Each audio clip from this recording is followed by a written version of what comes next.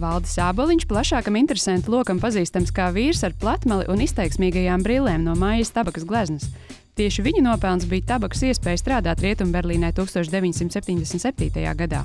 Viņa sarīkotā Latvijas mākslinieka izstāde Diseldorfā 73. gadā bija plašākā līdz tam un ilgu laiku pēc tam notikusī Latvijas mākslas izstāde Rietumos. Valdā Aboliņa iedvesmota bija arī Rīga Latviešu avangards, izstāde 88. gadā Berlīnē, kas daudziem 80. gadu beigās strādājošajiem Latvijas māksliniekiem pavēra ceļu uz rietumiem. Tagad, pēc vairāku gadu sagatavošanas darba, Latvijas laikmatīgās mākslas centrs izdevis vairāk nekā 600 lapušu biezu bilingvālu publikāciju Valdis Āboliņš, Avangards, Meilārds, Jaunais kreisums un kultūras sakari augstā kara laikā.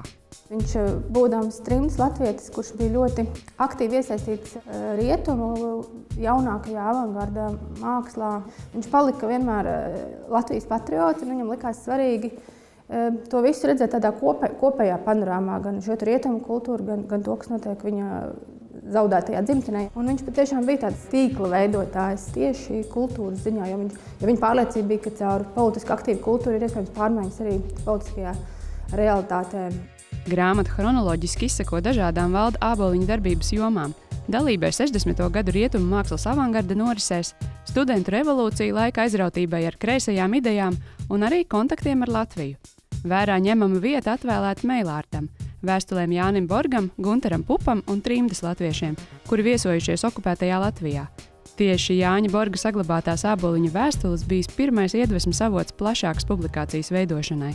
Brīžiem tas bija detektīva darbs, un, protams, mēs arī strādājām arhīvos, meklējām informāciju.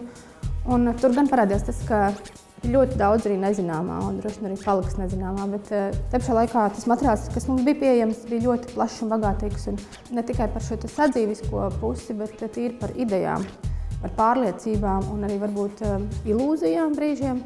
Valda, jeb valža, kā viņu saukuši tuvinieki, rakstītās un zīmētās vēstules ir interesantas arī no literārā viedokļa.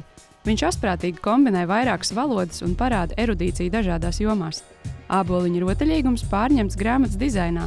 Ikvienā grāmatas eksemplārā, kā mazs sveiciens lasītājiem, ieslēpusies kāda valža āboliņa vēstule. Turklāt katrā grāmatā cita.